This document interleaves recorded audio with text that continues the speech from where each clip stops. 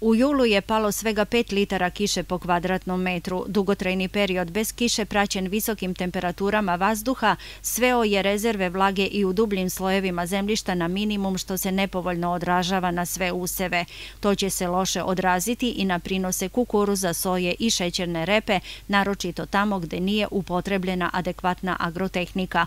U Starobazovačkoj opštini stanje useva zavisi od poteza u kojem se nalaze njive. Ne nadamo se nekom prosečnom prinosu, pretpostavljamo da će biti barem za 30-40% manje, ali nadamo se samo da će cena nadoknaditi prinos.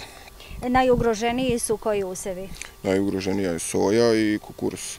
Znači čećerna repa i suncokret normalno. Oni su u dobroj kondiciji, pogotovo suncokret zato što njemu odgovaraju ovakve temperature.